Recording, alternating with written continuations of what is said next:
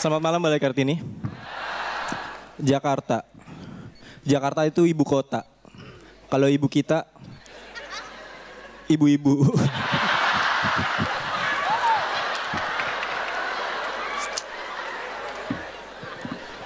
Jakarta kota metropolitan. Jadi anak-anaknya tuh banyak yang gaul, yang fakir, yang doyan ngocepin ember tuh. Kalau gua nggak, gua anaknya kuper, kurang lemper. Enggak, kurang pergaulan. Jadi waktu kecil tuh gue pemalu banget. Putri malu gue sentuh, gue yang kuncup. Iya.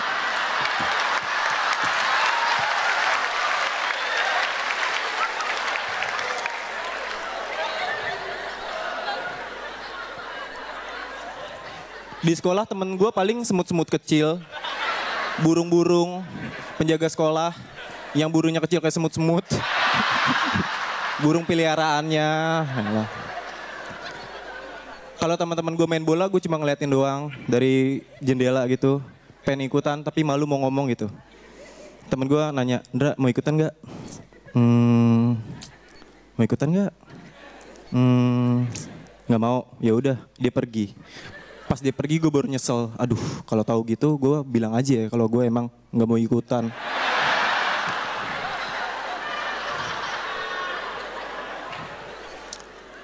gue malu eh apa gue pemalu tapi bandel gitu.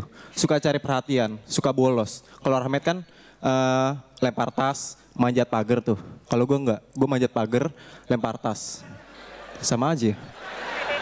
Tapi pernah gue apa manjat pagar lompat sampai wah sampai sekolah nggak taunya. Gue dari luar itu. Salah masuk.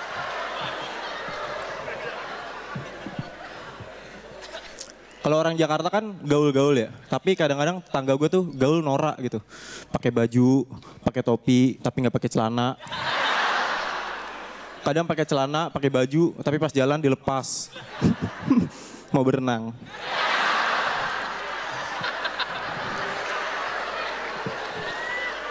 Nongkrongnya paling di tokonya penyanyi dangdut tuh, apa? Sepel Jamil tuh nongkrong. Iya.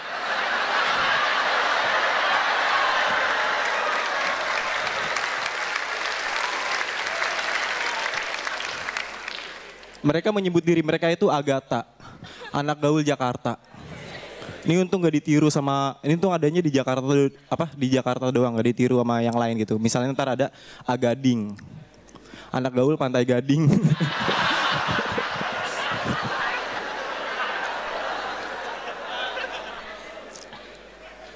Pergaulan Jakarta tuh bebas banget.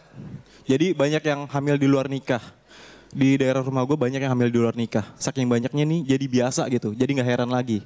Yang bikin heran itu kalau misalnya hamil di luar perut. Janinnya di luar.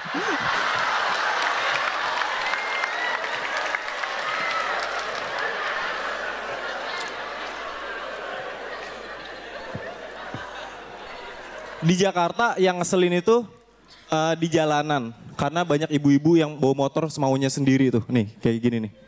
Tuh. Ya kan? Semaunya sendiri kan? Ada jalanan dia jalan di rumput. Aneh banget itu.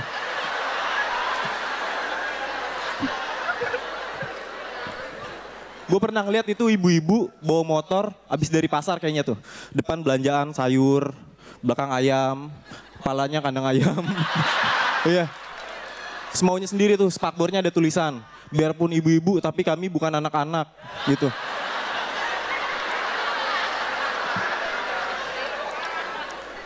Spionnya cuma satu yang tengah doang. Apaan? udah gitu ngeselin jalannya di tengah pelan gitu. Kalau misalnya ada tronton depan apa di belakangnya gitu di klakson dikaget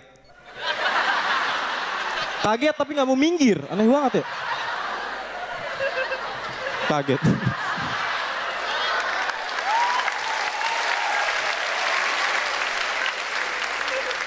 Apalagi kalau pas belok. Belok kadang nggak apa nggak nyalain sen.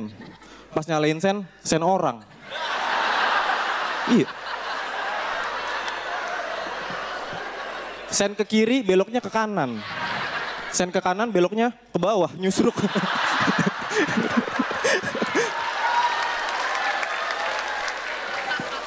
Kadang-kadang ini yang kayak gini nih, ibu-ibu kayak gini pengen gue tabrak aja gitu. Buak. Belanjaannya gue ambil. Motornya gue colong. Twitternya gue bajak.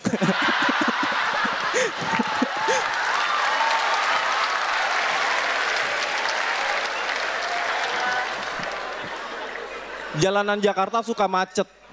Kalau pengendara motor kan kalau lagi macet, samping ada mobil kadang-kadang suka ngaca kan. Tapi kadang kalau awkward, kalau misalnya yang buka kaca pintu mobil tuh dibuka gitu. Wah malu. Yang lebih malu apa? Mukanya mirip sama gua. Jadi gue bingung nih. Aduh, yang gua yang mana ya?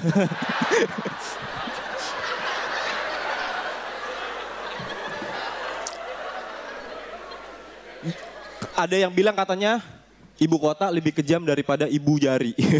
Enggak, ibu tiri. Makanya banyak pendatang yang ke Jakarta tuh mereka nggak sukses. Kayak waktu itu gue pernah ngeliat ada tukang cobek, tau kan? Tukang ulekan tuh. Yang biasa buat ngulek cabai, kalau nggak buat main Beyblade tuh. Iya kan?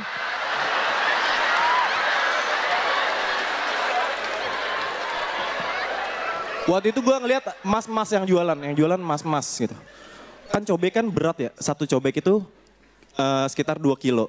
Waktu itu ada 10 cobek dipikul. 10 kali 2 itu 20 kilo. Ini berat banget. Apalagi kalau misalnya rumah dia jauh gitu. Misalnya dia di, jualan di Jakarta, tapi rumahnya di Magelang. Ke Jakarta jalan kaki. Sampai apa dari Magelang tingginya 180 sampai Jakarta tinggal syukuran obat tetes mata. Cebol. Iya. Itu juga perjuangan kayak gitu juga belum tentu ada hasilnya gitu. Kadang-kadang nggak ada yang beli, ya kan? Gue tanya, Mas, ini kalau nggak ada yang beli gimana nih cobeknya? Ya, terpaksa Mas, saya makan sendiri. terima, terima kasih. Jadi ya, jadi kalau menurut gua Indra brand komedi lo ini yang lo bawa ke panggung ini adalah sesuatu yang sangat unik. Gue nggak mau pusing-pusing mikirin ini kenapa dan kenapa lucu gitu. Tapi satu hal yang gue tahu lo membawa sesuatu yang sangat unik dan itu keren banget. Thank you. Makasih Mas Radit. Ini unik banget unik banget loh. Jadi mungkin lo punya segmen sendiri nanti. Menurut gue keren banget. Semakin lama gue semakin bisa mengerti gitu. Tapi keren banget, sumpah keren banget. Makasih Om Indo.